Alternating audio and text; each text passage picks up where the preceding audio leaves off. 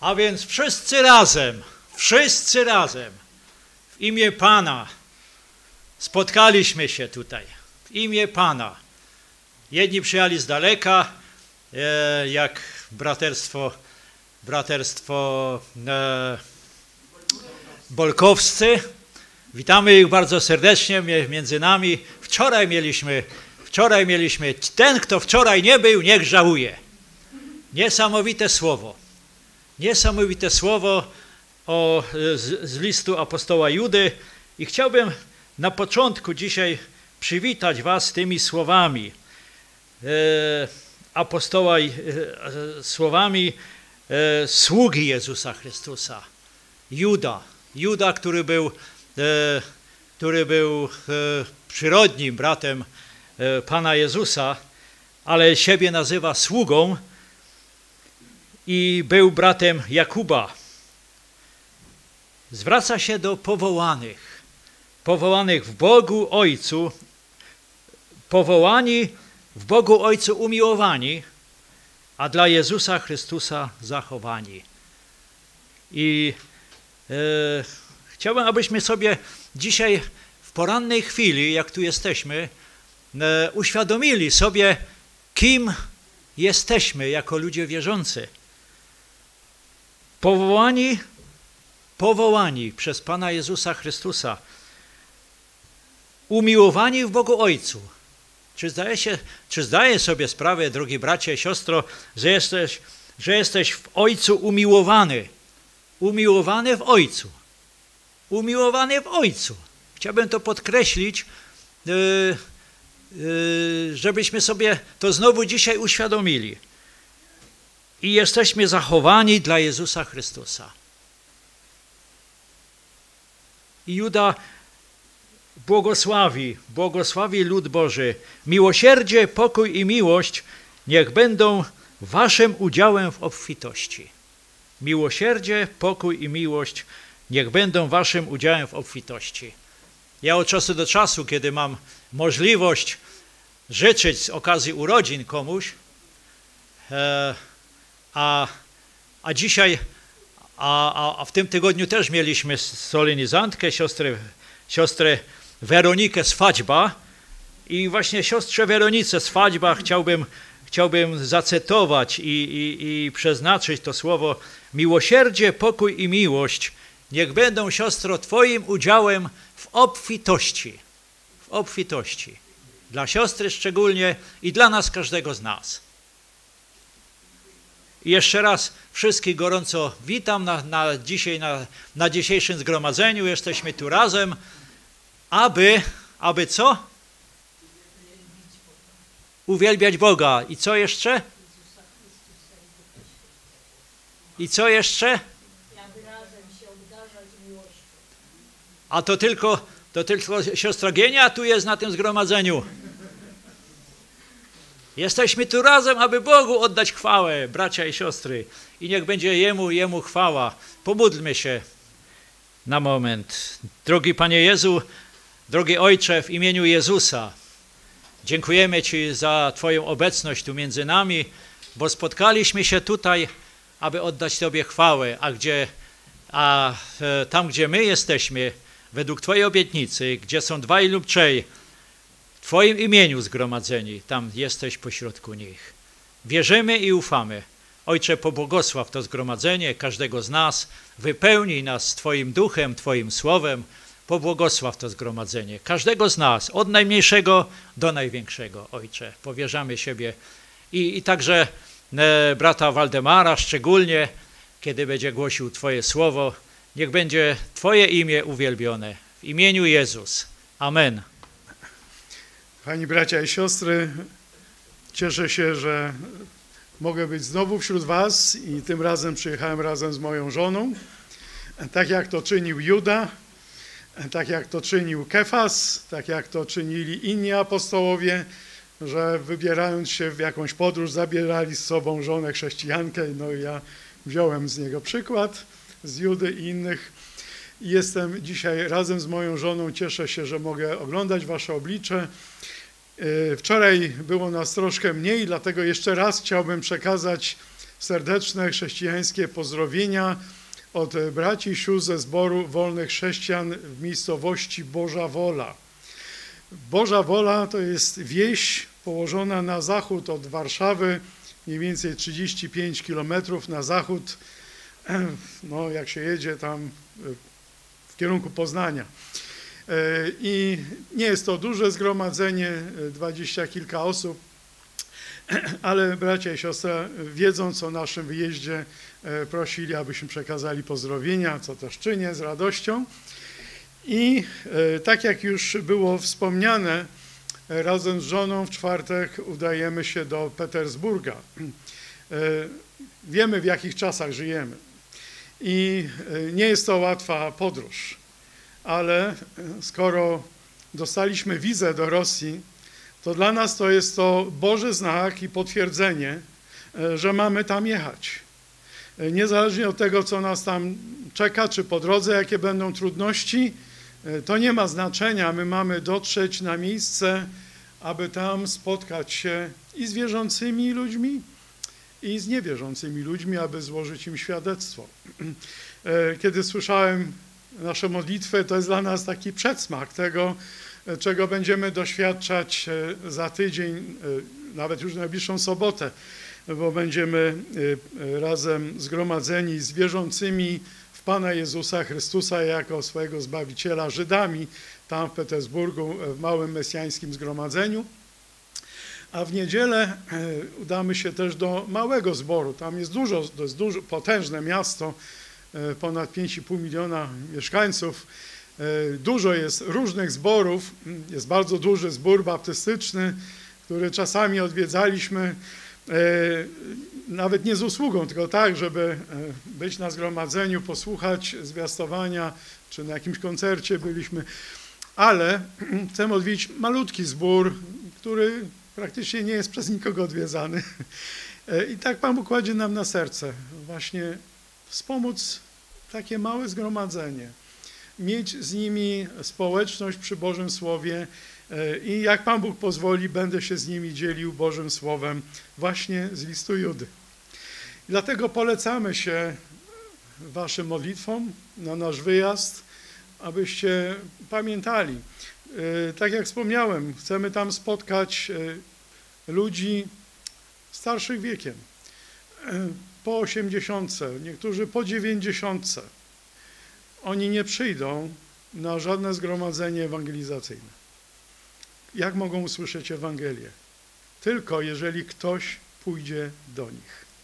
I Pan Bóg wysyła nas. Nie wiem dlaczego akurat tak, ale wysyła nas te tysiąc kilometrów, żebyśmy kilku osobom mogli powiedzieć Ewangelię. I chcemy to uczynić z radością, ale chcemy to uczynić ze świadomością także i waszych modlić, za co z góry gorąco dziękujemy. A ja chciałbym dzisiaj dzielić się Bożym Słowem z Ewangelii według Marka.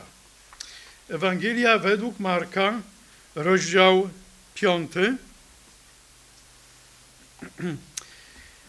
Przeczytamy fragment Słowa Bożego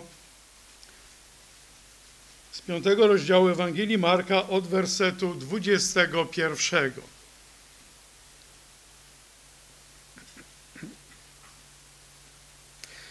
Ewangelia według Marka, piąty rozdział, dwudziesty pierwszy werset i dalsze. A gdy się Jezus znowu przeprawił w łodzi na drugą stronę, zeszło się mnóstwo ludu do Niego, a On był nad morzem. I przyszedł jeden z przełożonych synagogi imieniem Jair, a ujrzawszy go, przypadł mu do nóg i błagał go usilnie, mówiąc, córeczka moja kona, przyjdź, Włóż na nią ręce, żeby odzyskała zdrowie i żyła. I poszedł z nim. I szedł za nim wielki tłum i napierali na niego. A niewiasta, która od dwunastu lat miała krwotok i dużo ucierpiała od wielu lekarzy i wydała wszystko, co miała, a nic jej nie pomogło, przeciwnie, raczej jej się pogorszyło, gdy usłyszała wieści o Jezusie podeszła w tłumie z tyłu i dotknęła szaty jego, bo mówiła, jeśli się dotknę choćby szaty jego, będę uzdrowiona. I zaraz ustał jej krwotok i poczuła na ciele, że jest uleczona z tej dolegliwości. A Jezus, poznawszy zaraz, że z niego moc uszła, zwrócił się do ludu i rzekł, kto się dotknął szat moich? Na to rzekli mu uczniowie jego, widzisz, że lud napiera na ciebie, a pytasz, kto się mnie dotknął? I spojrzał wokoło, aby ujrzeć tę, która to uczyniła. Wtedy owa niewiasta z bojaźnią i drżeniem, wiedząc, co się jej stało, przystąpiła. Upadła przed nim i wyznała mu całą prawdę. A on jej rzekł, córko, wiara twoja uzdrowiła cię. Idź w pokoju i bądź uleczona z dolegliwości swojej. A gdy jeszcze mówił, nadeszli domownicy przełożonego synagogi i donieśli, córka twoja umarła, czemu jeszcze trudzisz nauczyciela? Może do tego miejsca czytamy w 21 wersecie, a gdy się Jezus znowu przeprawił w łodzi na drugą stronę. Słowo znowu mówi nam, że stało się to kolejny raz. Kiedy to się stało wcześniej? O tym czytamy w czwartym rozdziale, w 35 wersecie. I rzekł do nich, mowa jest o Panu Jezusie, który zwraca się do swoich uczniów, i rzekł do nich owego dnia, gdy nastał wieczór, przeprawmy się na drugą stronę. W jakim celu? W jakim celu Pan Jezus chciał się przeprawić na drugą stronę? E, czytamy w piątym rozdziale, w pierwszym wersecie i przybyli na drugi brzeg morza. Gdzie? Do krainy Gerazeńczyków. Po drodze czytamy o burzy, która ich spotkała. E, uczniowie są zatrwożeni. Panie, nie dosz o to, że giniemy? Czyż zapomnieli słowo Pana Jezusa, który powiedział, przeprawmy się na drugą stronę? On im powiedział, że znajdą się na drugiej stronie. A że trudności po drodze? No tak jest, takie jest życie. My też mamy różnego rodzaju trudności, ale Pan Bóg chce, abyśmy się przeprawili na drugą stronę. Kiedy Pan Jezus Dziękuję bardzo. Kiedy Pan Jezus uciszył morze, uciszył tę wielką burzę, ustał wicher, uczniowie zadają pytanie, kim więc jest ten, że i wiatr i morze są mu posłuszne? Uczniowie zadają to pytanie między sobą. Oni nie zadają tego pytania Panu Jezusowi, oni sobie zadają to pytanie. Kim On jest? I nie mamy 42 wersetu. Nie mamy odpowiedzi. Dlaczego? Bo tę odpowiedź ty i ja musimy dać. Czytając tę historię, kiedy rozważamy to słowo pańskie, my mamy dać odpowiedź, kim on jest. Kim on jest dla ciebie. Czy jest takim zbawicielem, tym, który ratuje od wszelkich niebezpieczeństw, tak jak wtedy uczniów fizycznie uratował. On jest tym, który ma władzę nad stworzeniem, bo On jest Stwórcą. Ale Pan Jezus przeprawił się na drugą stronę razem z uczniami do krainy Garazeńczyków, z zachodniej strony na wschodnią stronę Jeziora Galilejskiego. Dlaczego? Bo tam był człowiek mężczyzna, który potrzebował jego pomocy, który był opętany we władzy sił ciemności. Nie można go było poskromić. On żył nienormalnym życiem. Mieszkał na cmentarzu. Często te demony go goniły, on krzyczał, on się ranił kamieniami. Straszne to było życie. Zniewolony i musiał czynić nie swoją wolę, ale wolę tych demonów, a było ich wielu. Sam ten jeden z demonów, odpowiadając na pytanie Pana Jezusa, jak ci na imię, na imię powiedział, na imię mi Legion, bo jest nas wielu. Wiecie, Legion, no, to był taki oddział wojsk rzymskich liczący kilka tysięcy żołnierzy. No i potem czytamy, że no, dwa tysiące świń rzuciło się w morze. Tyle było tych demonów. Straszna moc. Nie można go było poskromić. Go wiązali łańcuchami, rozrywał wszystkie pęta i łańcuchy. Ten człowiek sam nie mógł sobie pomóc i inni ludzie nie mogli mu pomóc. On potrzebował czyjej pomocy? Pana Jezusa. Pana Jezusa. I dlatego Pan Jezus powiedział do swoich uczniów: Przeprawmy się na drugą stronę, bo tam jest mężczyzna potrzebujący pomocy Pana Jezusa. Taki trud, taki wysiłek dla jednego człowieka? Tak, tak. Tak jak brat Lucjan wczoraj powiedział, jeżeli jeden człowiek się upamięta, całe niebo będzie się radować. I dlatego zbawienie polega na tym, że Pan Bóg zbawia ludzi pojedynczo. Każdego osobiście zbawia, każdego indywidualnie zbawia. Każdy sam musi wziąć zbawienie z Bożych rąk. To nie będzie tak, że moi rodzice są zbawieni, to ja automatycznie też będę zbawiony. Nie, tak to nie działa. Sam musisz przyjść do Pana Jezusa i poprosić Go o to zbawienie. A On chętnie da. On chętnie da.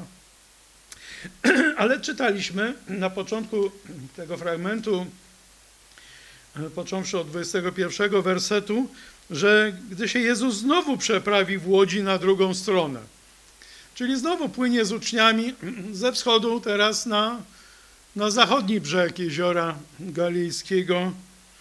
I o ile tam po tej wschodniej stronie ludzie powiedzieli, żeby odszedł od nich, dla nich rzeczy materialne były ważniejsze niż ocalenie jednego człowieka,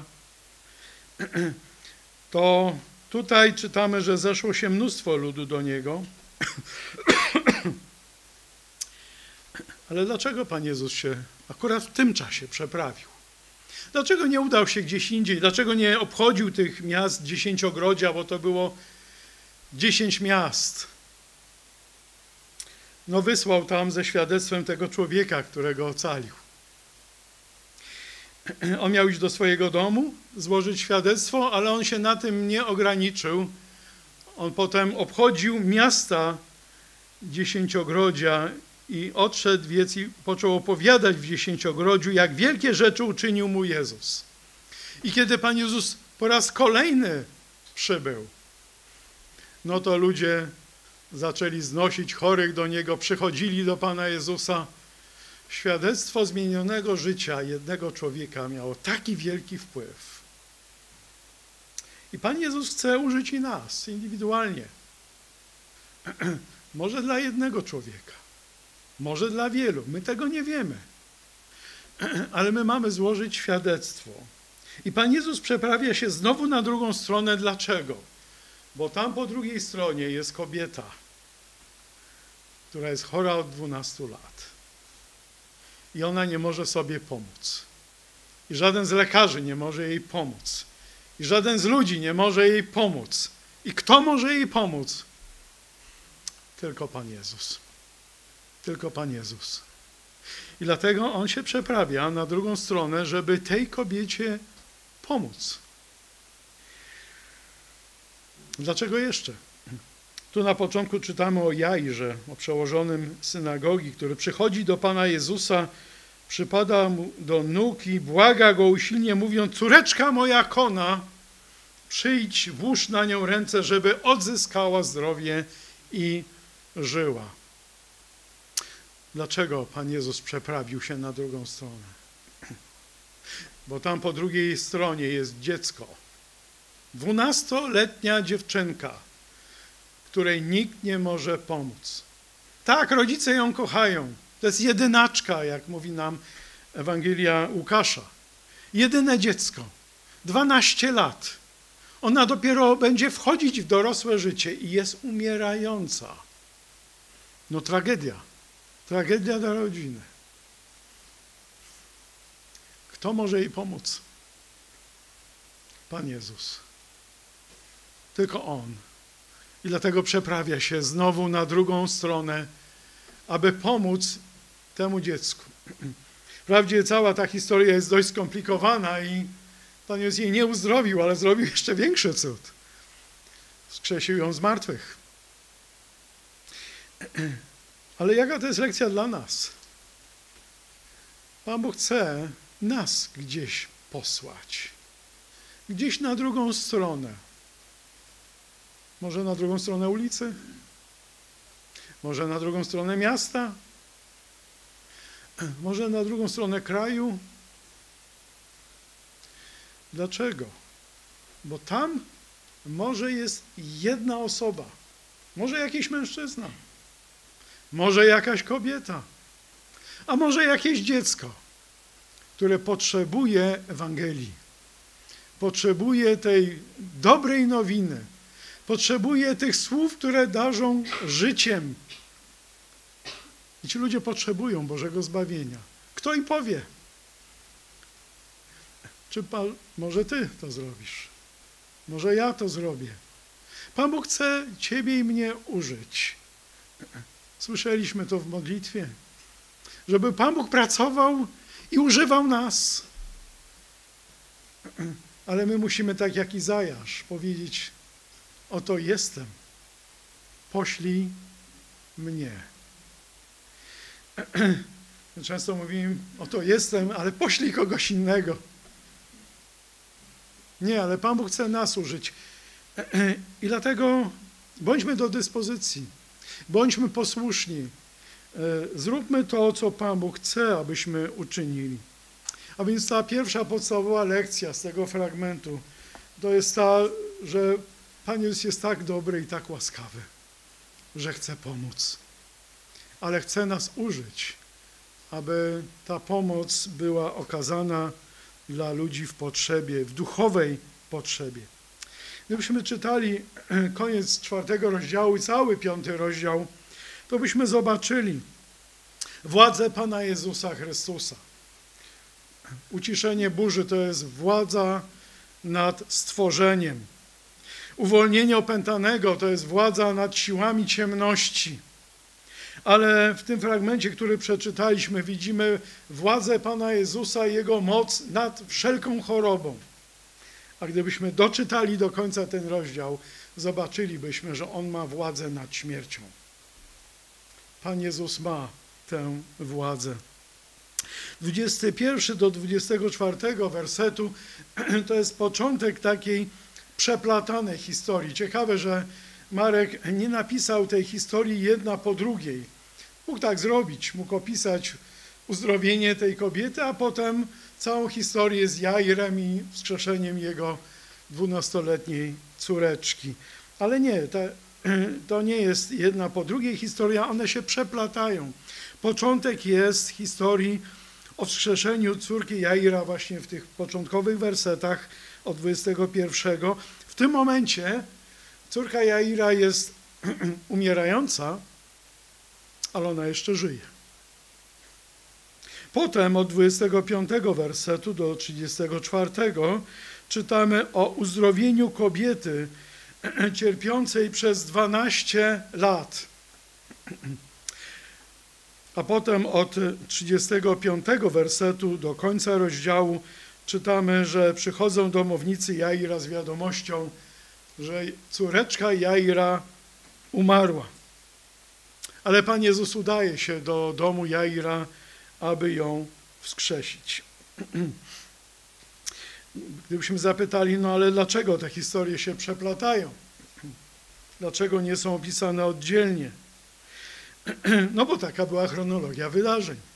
Tak to się wszystko odbyło. Ten cud uzdrowienia kobiety to, to była przerwa tym procesie e, wskrzeszenia córki Jaira. E, to uzdrowienie kobiety spowodowało opóźnienie w dotarciu do domu Jaira. I skutek opóźnienia był taki, że córeczka Jaira umarła. I wtedy Jair mógłby powiedzieć, po dotarciu Pana Jezusa do jego domu: Panie, gdybyś tu był, moja córeczka by nie umarła.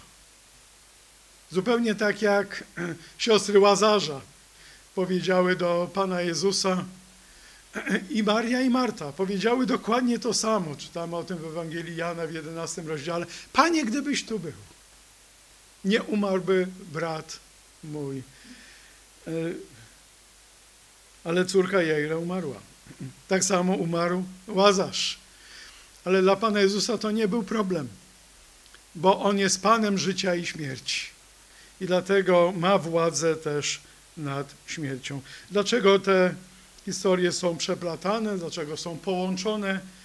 Aby pokazać, że Pan Jezus ma moc jednocześnie nie tylko uzdrowić nieuleczalną chorobę, ale ma moc wskrzesić z martwych. Kiedy czytamy o tej kobiecie, ta kobieta cierpiała, była chora przez 12 lat. Ona miała częste krwotoki. I tak się działo przez 12 długich lat. Czytamy tam w wersecie 26 i dużo ucierpiała. Spróbujmy się wczuć w jej położenie, wyobrazić sobie jej stan. Dużo wycierpiała. Co znaczą te słowa? No po pierwsze, no była chora. Ona cierpiała fizycznie z powodu upływu krwi. Jakby spojrzeć na nią, to pewnie byłaby taka blada jak ta ściana. Ona była słaba, anemiczna, nie miała siły. To już był cud sam sobie, że ona tego dnia wstała z łóżka i w ogóle poszła, aby dotknąć się Pana Jezusa Chrystusa. Czytamy, że ona dużo ucierpiała od wielu lekarzy. Łukasz który był lekarzem, opisując tę historię, nie pisze tego zdania.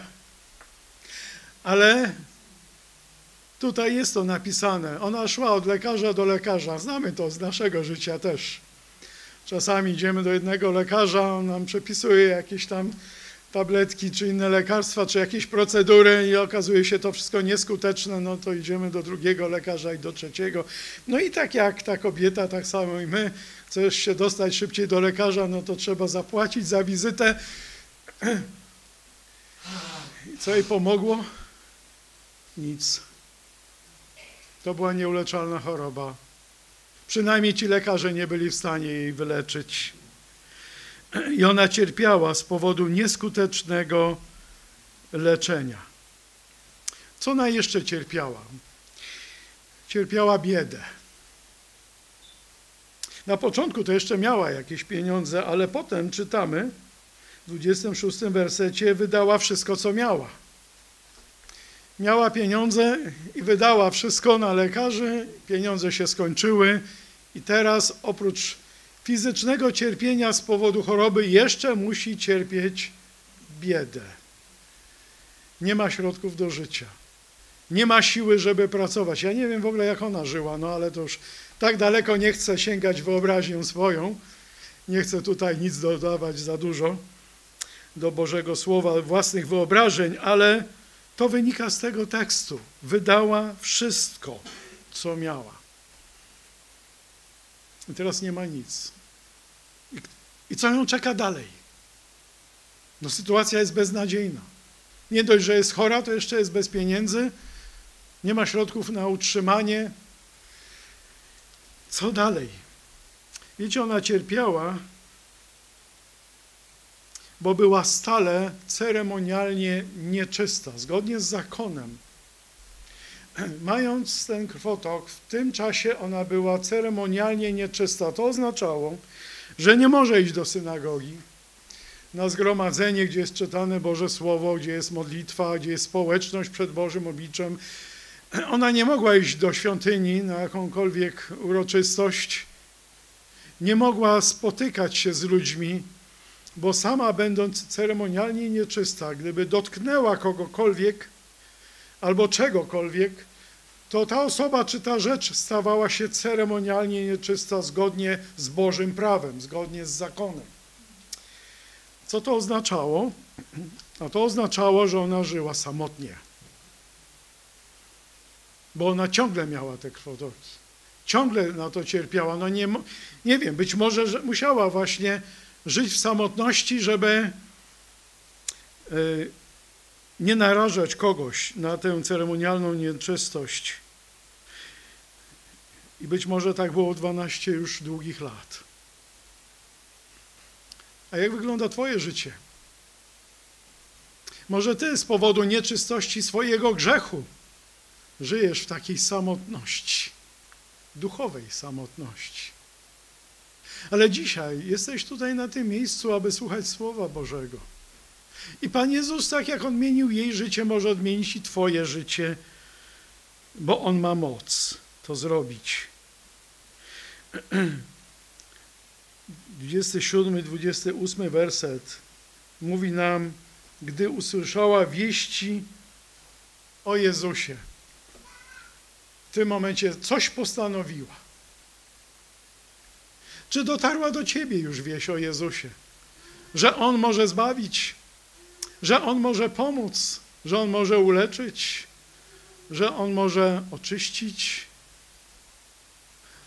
Czytamy w liście do Hebrajczyków, Jezus Chrystus wczoraj i dziś i na wieki jest ten sam. On się nie zmienił. On dzisiaj chce być ratunkiem dla człowieka, który jest w potrzebie. Może ty jesteś takim człowiekiem dzisiaj. To on chce ci pomóc. Ale musisz najpierw usłyszeć o nim. Musisz usłyszeć, co ona usłyszała. A że jest taki Boży mąż, wielki prorok, przez którego Bóg nawiedził swój lud. On jest tym, który uzdrawia chorych. I nie ma takiej choroby, której by nie uzdrowił. I całe tłumy uzdrawia ludzi. I ona o tym usłyszała. I co sobie pomyślała? No jeżeli on mógł uzdrowić wielu ludzi, a mnie tylu lekarzy nie pomogło, to on dla mnie jest ostatnią deską ratunku. Jeżeli on mi nie pomoże, to już mi nikt nie pomoże. I dlatego ona podjęła decyzję: pójdę do Jezusa. Czy podjąłeś taką decyzję już w swoim życiu? Czy wejrzałeś w siebie, zobaczyłeś swój grzeszny stan?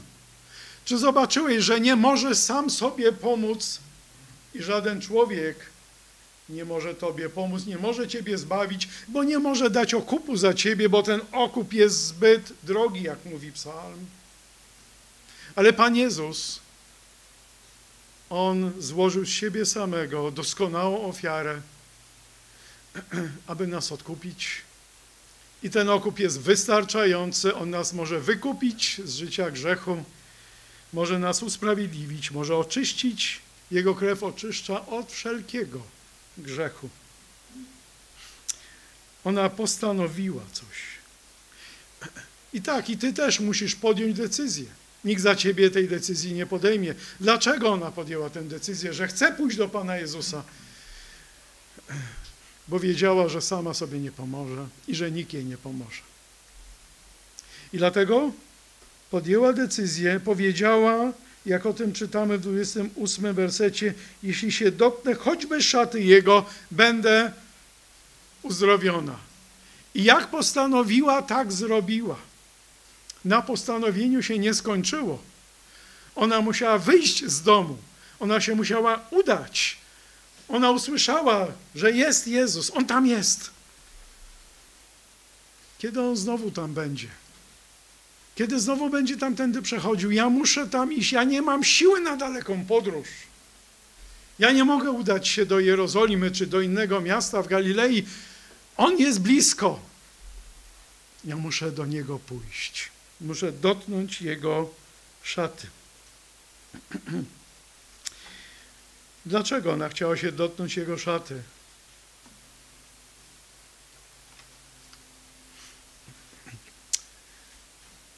Ona uwierzyła, że Pan Jezus może ją uzdrowić. To była jej wiara.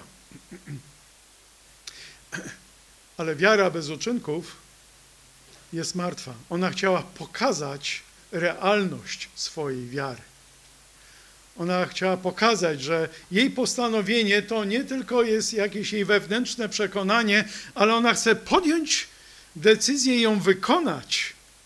Ona chce się dotknąć Pana Jezusa Chrystusa, choćby z kraju Jego szaty, choćby tych frędzli, które wystawały u skraju szaty Pana Jezusa, tak jak Żydzi ortodoksyjni to nosili zgodnie z wymaganiami zakonu, a Pan Jezus wypełnił wszelki zakon, wszelkie wymagania zakonu. I dlatego też y, ja myślę, że inni ludzie też mieli podobne przekonania, y, bo czytamy w Ewangelii Marka w szóstym rozdziale,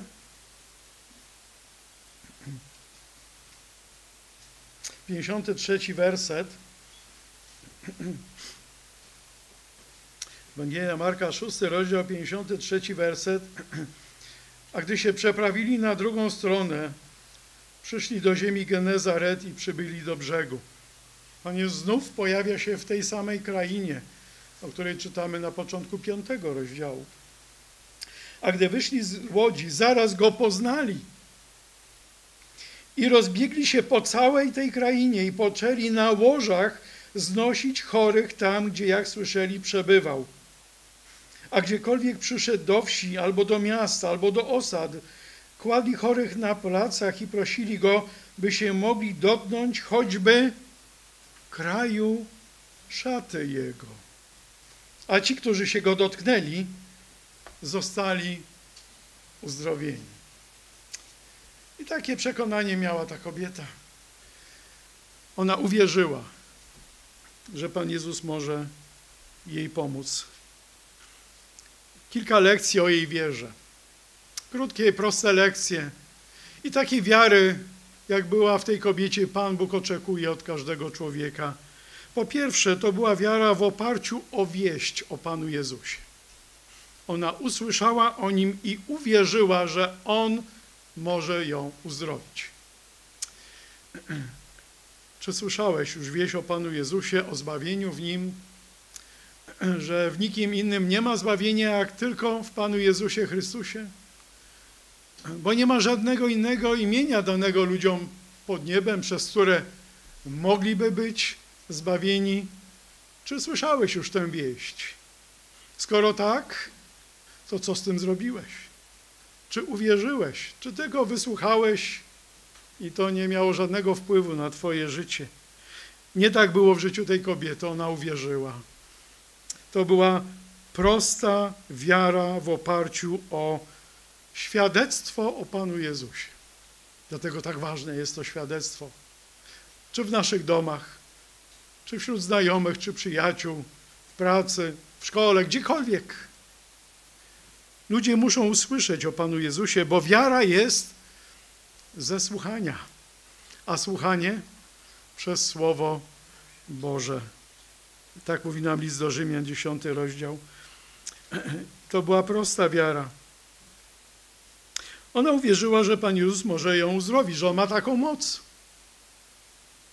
Czy uwierzyłeś już, że Pan Jezus może Ciebie zbawić? On może. Jest taka pieśń. On może, on może. Ja wiem, że on może. Czy wiesz o tym? Czy jesteś o tym przekonany? On może ją uzdrowić, tak jak uzdrowił wielu innych ludzi. On może dzisiaj zbawić, bo zbawił wielu innych ludzi i wielu siedzi tutaj na tej sali zbawionych. Każdy może to poświadczyć, że ma to zbawienie. A więc skoro zbawił innych ludzi, może zbawić i ciebie. Czy w to wierzysz? Pan Jezus potem kieruje słowa do Jaira, nie bój się, tylko wierz. A jaka była wiara tej kobiety? Ona była w oparciu o wieść o Panu Jezusie. To była taka prosta wiara, że On może jej pomóc, ale to była też odważna wiara. No bo ona nagle ma się znaleźć w tłumie ludzi jak dotrzeć do Pana Jezusa. No nie jest takie proste, jak lud napiera na Niego z każdej strony. Jak podejść do Niego w ogóle? Jak się przecisnąć przez ten tłum? ona ma świadomość, że ona się nie może nikogo dotknąć. No bo jakby się ludzie dowiedzieli, że tak się stało i że ona jest ceremonialnie nieczysta, no to by się dopiero narobiło. Ona była odważna. Ona w tym momencie mówi, niezależnie od konsekwencji, ja muszę dotrzeć do Pana Jezusa. Muszę się dotknąć kraju szaty Jego, choćby z tyłu. Jak się nie, ona nie chciała nawet być twarzą w twarz z Panem Jezusem, choćby z tyłu podejść tak po cichu, żeby nikt nic nie wiedział, nikt nic nie widział, ona się dotknie, będzie uzdrowiona, pójdzie do domu. To była odważna wiara. Wiecie, przed Jairem, który był przełożonym synagogi, to ludzie ustępowali drogi, no bo to jest przełożony synagogi. Dla niego nie było problemu z dotarciem do Pana Jezusa. Czytamy, że on przyszedł, ujrzał go, upadł do nóg, błagał go usilnie, jest przed Panem Jezusem. No ale dla tej kobiety to nie było takie proste.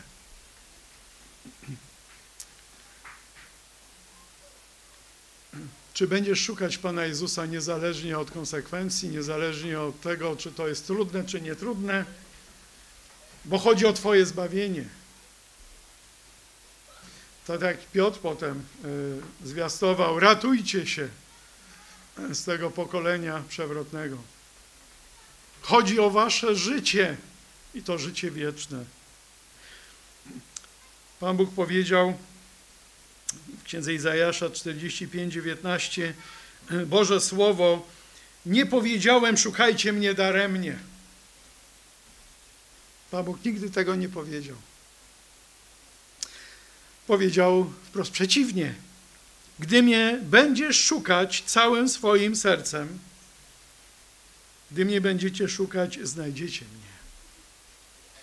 Całym sercem. Gorliwie.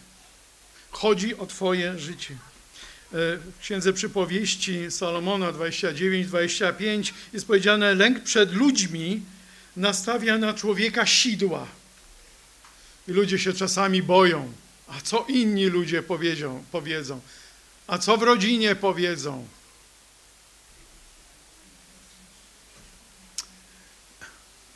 Ale ten sam werset, 25 z 29 rozdziału przypowieści mówi, lecz kto ufa Panu, ten jest bezpieczny. I o co chodzi? O uf ufność, o zaufanie, o złożenie tej ufności w Panu. Słowa zachęty dla nas na dzisiaj to są słowa z Jeremiasza. Nie bój się, bo ja jestem z Tobą, aby Cię ratować, mówi Pan. Jeremiasza 1,8.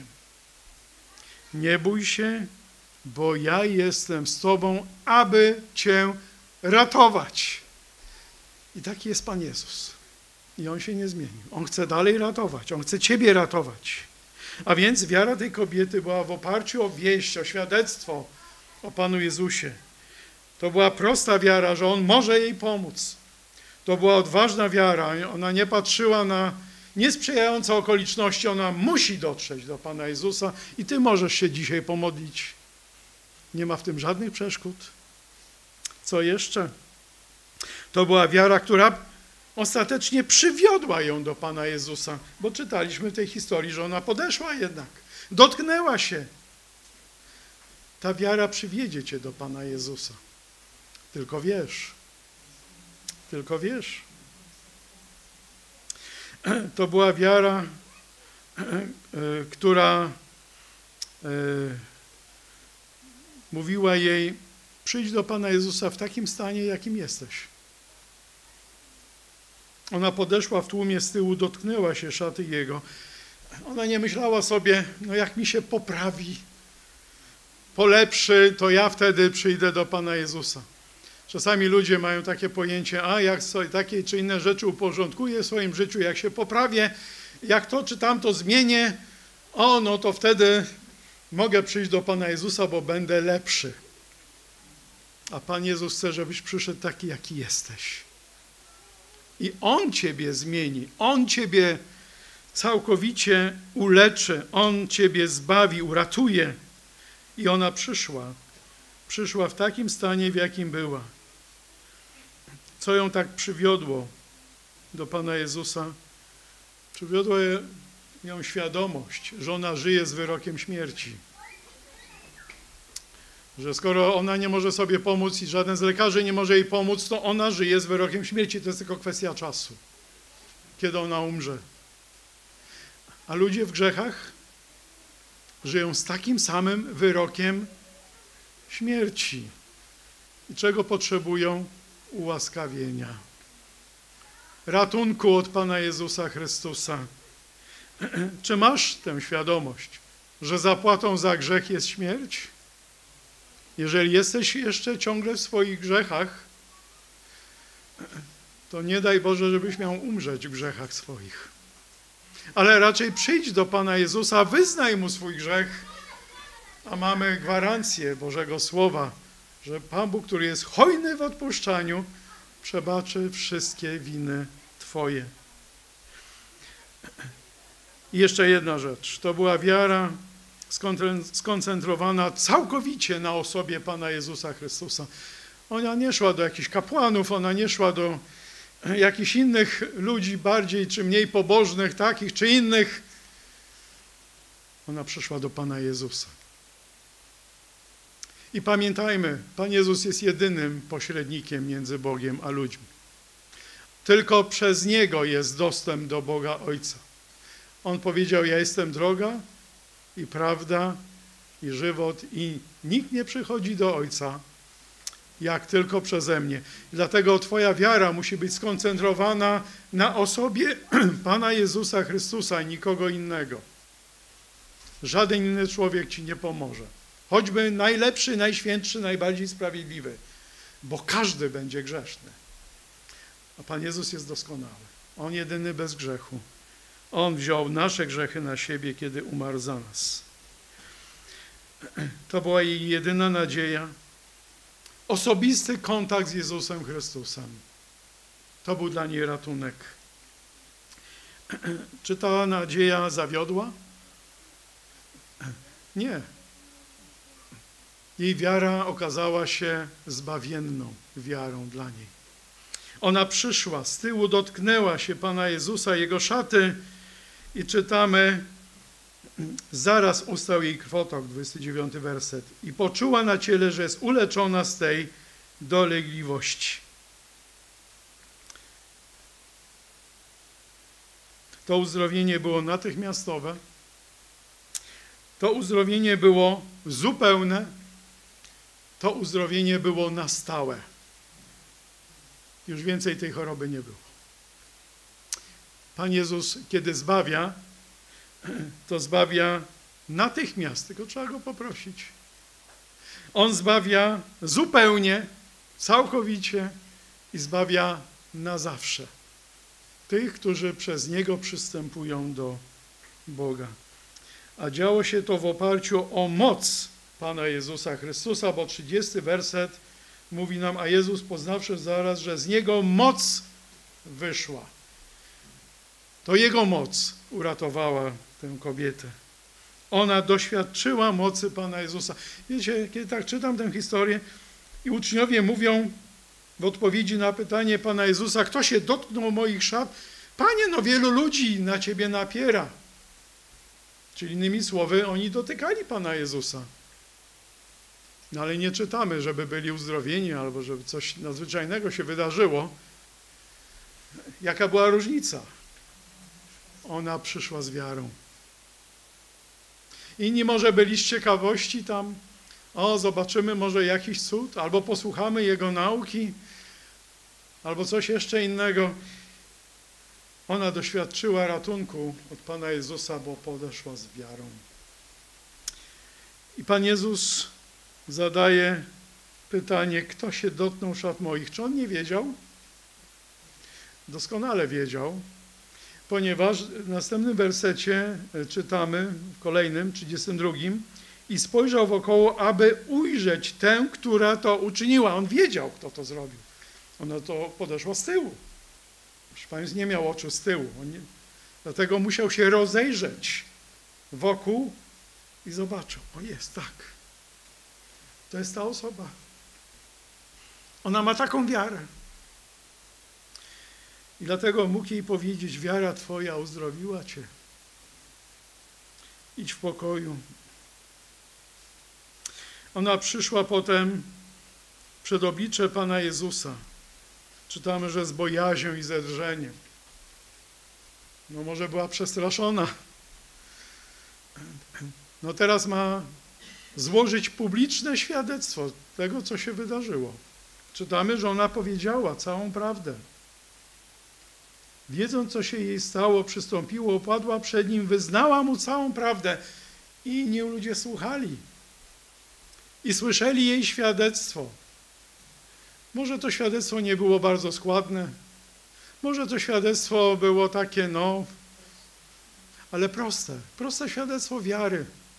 Ona powiedziała o tym, jaki był jej stan, co ona usłyszała o Panu Jezusie, w co ona uwierzyła i co zrobiła. I tylko tyle. I Pan Jezus oczekuje takiego świadectwa od nas. Abyśmy powiedzieli tak jak ten ślepy. To jedno wiem, że byłem ślepy, a teraz widzę. I Pan Jezus oczekuje tego świadectwa od nas. Byłem grzeszny, ale Pan Jezus przebaczył moje grzechy. Takie świadectwo. Ona wyznała mu całą prawdę. W Ewangelii Łukasza, gdzie ta historia jest też opisana e, w ósmym rozdziale, 47 werset, a niewiasta spostrzegłszy, że się nie może ukryć, podeszła z drżeniem i patrzy przed nim, oznajmiła przed całym ludem, z jakiego powodu się go dotknęła i jak natychmiast została uleczona. No pewnie jej się nogi trzęsły, kiedy mówiła to świadectwo, ale to było świadectwo prawdziwe. To było świadectwo, jak Pan Jezus jej pomógł. Ona wyznała przed Panem Jezusem, ale wobec ludzi całą prawdę. Publiczne świadectwo o tym, co uczynił dla niej Pan Jezus.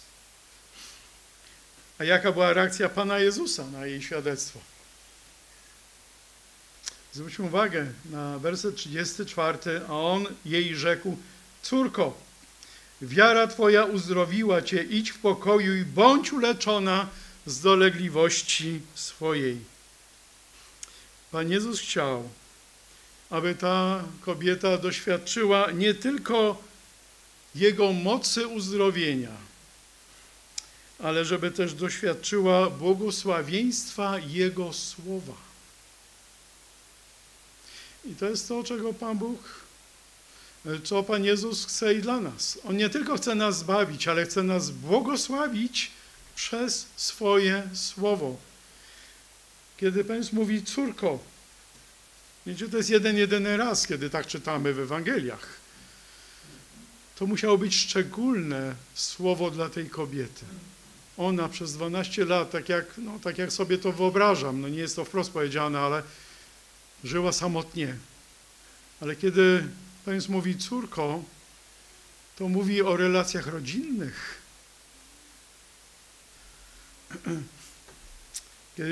Na innym miejscu Maria, matka Pana Jezusa i, i jego bracia, i bracia tam przyszli i oznajmiono Panu Jezusowi, że oni są tam na dworze, czekają, chcą, się go, chcą go widzieć. Pan Jezus pyta, kto jest moją matką? To jest moim bratem, moją siostrą. Ten, który czyni wolę Bożą. Ten, który mi wierzy, ten, który jest mi posłuszny. I my jesteśmy w takiej relacji rodzinnej z Panem Jezusem. I Pan Jezus do nas się zwraca jak do Bożych dzieci. I mówi: idź w pokoju. On pochwalił jej wiarę, i posyła ze swoim pokojem do domu. Idź do domu swojego. Możesz iść, już spokojnie możesz iść. I wiecie, my też, będąc zbawieni, usprawiedliwieni wtedy z wiary, pokój mamy z Bogiem, a nie tylko to, ale i pokój Boży w naszych sercach. I z tym pokojem możemy iść przez świat niezależnie od tego, co się dzieje wokół nas, bo to jest Boży pokój, który przewyższa wszelki rozum ludzki. On odesłał ją do domu z pokojem w sercu i z zapewnieniem o zupełnym uzdrowieniu. Bądź uleczona. Pan Jezus potwierdził to, co się stało. Ona coś poczuła, ale potwierdzenie to ona miała przez Boże Słowo. Przez Słowo Pana Jezusa. I tak samo jest z nami. Nasze zbawienie nie opiera się na uczuciach, choć przeżywamy radość y, wynikającą ze zbawienia, ale potwierdzenie tego zbawienia mamy w Słowie Pana Jezusa Chrystusa. Na tym opieramy naszą wiarę i przekonanie o naszym zupełnym zbawieniu. Cóż ona mogła w tym momencie powiedzieć w domu? Stare przeminęło. Oto wszystko stało się nowe. I ona do końca swojego życia była żywym świadectwem, jakiej przemiany może dokonać Pan Jezus w życiu człowieka. Likwiduje to, co stare, przez co ona cierpiała przez tyle lat. On to wszystko skasował, darował nowe życie. E, życie w Bożym pokoju, w radości, e, w miłości rodzinnej. Wspaniałe nowe życie. I my możemy to samo świadectwo powiedzieć. Jeśli ktoś jest w Chrystusie, nowym jest stworzeniem. Stare przeminęło, oto wszystko stało się nowe. Pan Bóg chce, abyś był świadectwem dla Pana Jezusa Chrystusa, świadectwem nowego życia, odmienionego życia, zmienionego całkowicie przez Niego życia, abyśmy mogli w ten sposób żyć. Kiedy Pan Jezus e, powiedział, wiara Twoja Ciebie e, e, uzdrowiła, to kto tam stał obok? Jair. I on słyszał, słyszał świadectwo, słyszał słowa Pana Jezusa i oto teraz Pan Jezus udaje się razem z Jairem do jego domu. I już są w drodze. Jair się cieszy. O tak, Pan Jezus dotrze do mojego domu, zdrowi moją córeczkę, uzdrowił tą kobietę nieuleczalnie chorą. Moja córeczka kona, ale Pan Jezus ją uzdrowi. To będzie wspaniały dzień. On z taką nadzieją wyszedł z domu. I oto idzie do domu. I Pan Jezus zgodził się i idzie razem z nim. I nagle przychodzą jego domownicy, mówią: Twoja córeczka umarła, nie truć już więcej nauczyciela, nie ma potrzeby. Kiedy ludzie mówią, sytuacja jest beznadziejna, Pan Jezus mówi: Wierz. Nie bój się. Wierz, ufaj. Dla mnie żadna sytuacja nie jest beznadziejna. I Pan Jezus idzie dalej. Idzie do jego domu, mając świadomość, że tam leży córeczka Jaira, ona nie żyje. Kiedy tam przyszedł i ludzie już płaczą, co zrobił Pan Jezus? Kiedy powiedział do nich, ona nie umarła, ale śpi, to samo powiedział o Łazarzu, tak? Łazarz zasnął, ale idę go wzbudzić ze snu. Wyśmiali go. Tutaj płaczą, za chwilę wyśmiewają Pana Jezusa i Pan Jezus wszystkich wygonił z tego domu. Żaden z nich nie był świadkiem mocy Pana Jezusa nad śmiercią. Nie zobaczyli tego, bo się wyśmiewali ze słów Pana Jezusa. A kto doświadczył tego wspaniałego cudu? To byli rodzice, to byli trzej uczniowie, którzy byli z nim. Oni ponieważ wierzyli. Y, I ufam, że Jair, to było bolesne dla niego, ale jego wiara wzrosła. On wcześniej wierzył, że Pan Jezus może uzdrowić, ale nie wiem, czy wierzył, że może wskrzesić z martwych.